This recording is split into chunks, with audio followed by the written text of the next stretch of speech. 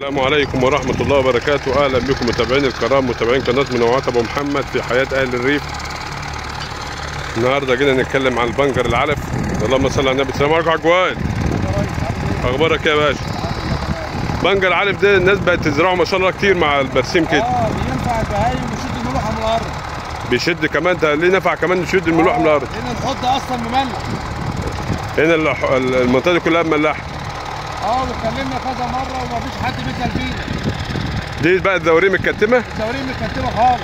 والوزارة الزراعة بتسألش؟ وكلمنا وعملنا شكوى في الوزارة وروح. أنا رحت الوزارة مرتين. مفيش فايدة برضه. الدكتوره بيبقى خايف هنا خالص. دي شكوى. زراعة الرز. شكوى لوزارة الزراعة بقى. لمن يعملها الرز الحوض مملح يجي يشوفوه يجي يشوفوا الذره أيوه صح. الدنيا هنا إحنا بتنتهي بنعالج نفسنا بنفسنا أهو. صل على النبي. محدش بيسأل فينا. آه. الحبايم دي بتوصل كام كيلو من 15 ل 20 كيلو. الصلاة على النبي. دي بيتأكل بقى إزاي؟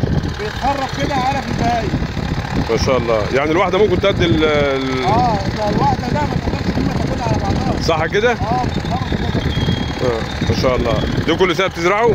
قبل زراعة الحديد يشد الملوحة من الأرض. شوف الأرض فايرة إزاي؟ آه. أرض فايرة بايظة خالص أيوه أيوة. خضرة دي دي علاجها الرز. علاجه انها تنزرع رز. وصلها رز. والحكومة منع عنا الرز نعمل إيه بقى؟ لا ما هو فين وزارة الزراعة؟ كلمنا وزارة الزراعة وقالوا هنعمل لكم خط آه، صرف وما سألوش فيه. ولا هيسالوا دي الناس هنا بتضطر تزرعوا. مساحات ضيق مساحة أكتر من 100 فدان ولا 200 فدان بايظ. آه. عشان خاطر آه، الملوحة اللي فيها الصرف والصرف مكتوب. على النبي لمن يهمه الأمر. الناس هنا بتضطر تزرع الب- الع- البنجر العلف ده بتستفاد فيه مرتين لأن بيشد الملوحة من الأرض. آه بتشد الملوحة من الأرض وكمان يبقى علف للمواد